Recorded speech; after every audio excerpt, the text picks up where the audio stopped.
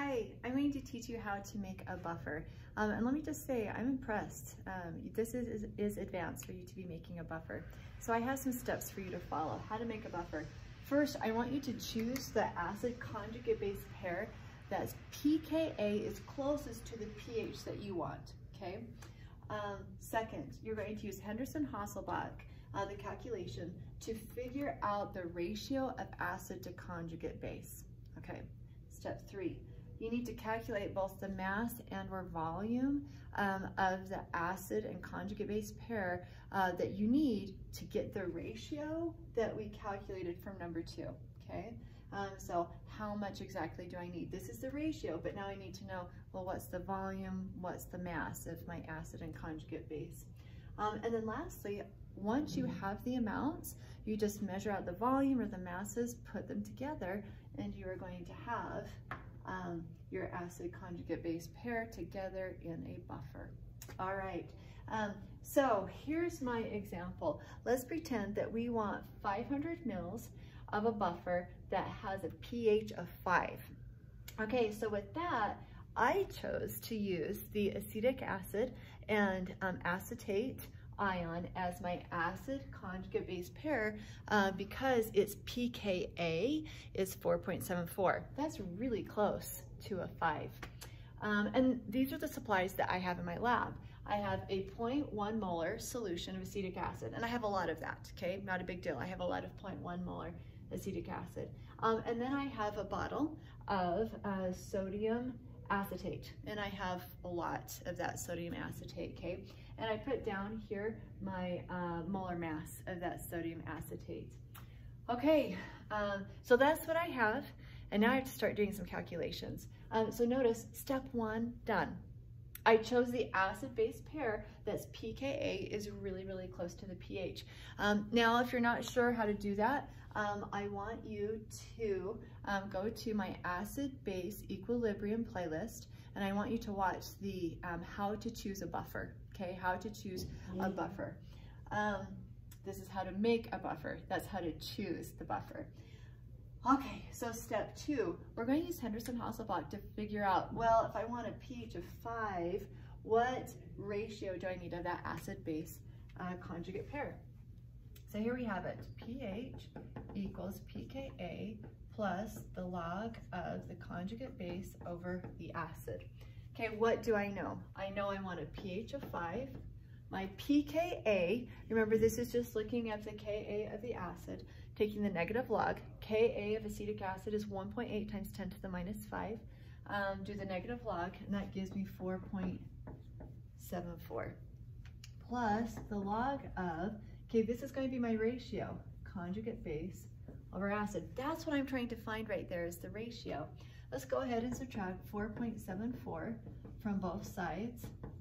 And we are going to get 0.26 equals log of conjugate base over acid. Now, how do I get rid of a log? Base 10. So I raise both of these to base 10. That's going to undo my log. And we get 10 to the 0.26. That equals 1.82. 1.82 equals, here's my ratio, conjugate base over acid. So I'm to put a 1. That 1.82 is understood to be over 1. There's my ratio. For every 1 mole of acid, I need 1.82 moles of that conjugate base. Okay, so step 2, done. We found the ratio. Now step 3, this is where I take what I have and I get this ratio, okay? This is the physical tactile part of I'm going to make this. So this is what I think is easiest. Take your solution and that's where you begin. So I said in my cupboards, I have a ton of acetic acid, okay? So I have this 0.1 molar acetic acid um, and I want it, I want 500 mils. So I'm like, okay, great. I'm going to get 500 mils of my 0.1 molar acetic acid. Um, and I want to figure out, well, how many moles are in that, right? Because I've got to figure out this ratio. This is what I'm starting with. So I'll take my 500 mils of acetic acid and figure out the moles inside of that. Um, so we've got 0.1 mole per liter of my acetic acid. And we need 500 mils of this. just divide that by thousand and it's going to give us 0.5 liters. So multiply and we have 0.05 moles of the acetic acid. Okay, there are my moles. So I have 500 mils of this and there's 0.05 moles. Let's just do a ratio. 1.82 of the base for every one. Well, my acid is 0.05. That's what I have in this beaker of 500 mils. I have 0.05.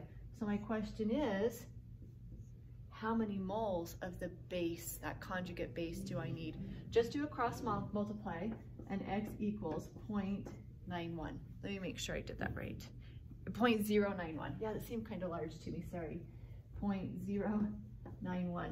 Now, notice, if I took 0.091 divided by 0.05, guess what? Is 1.82 over 1. So if I have this beaker with 500 mils of 0.1 molar acetic acid, I know inside of this are floating 0.05 moles of the acid.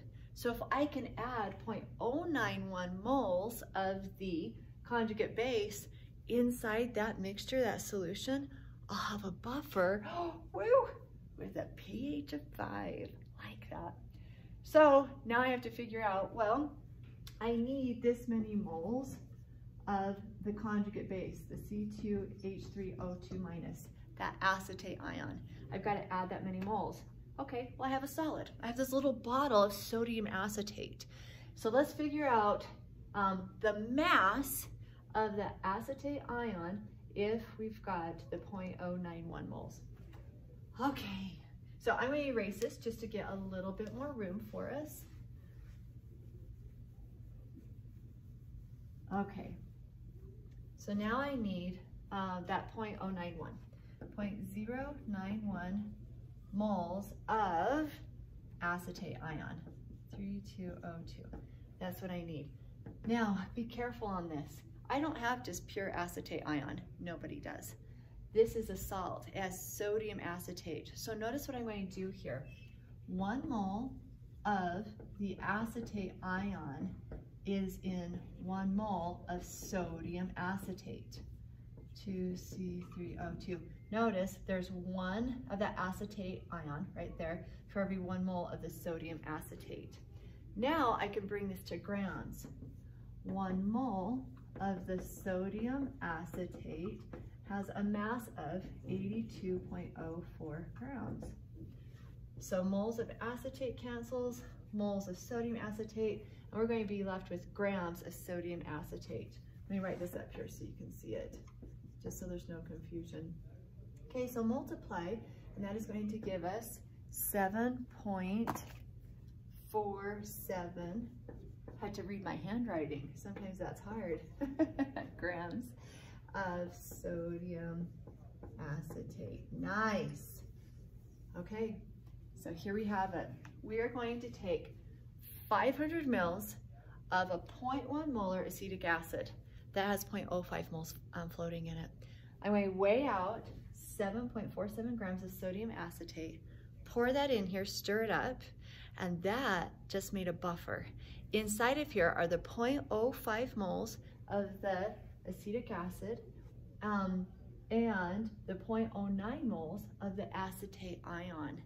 Um, and remember, that is a 1 to 1.82 mole uh, ratio right here. And that's the ratio I need to have a pH of 5 buffer. So it's those four steps. There you have it, those four steps. Go slow, think your way through it and do it at least twice. Double check yourself and you'll be good to go. All right, nice work. Thank you.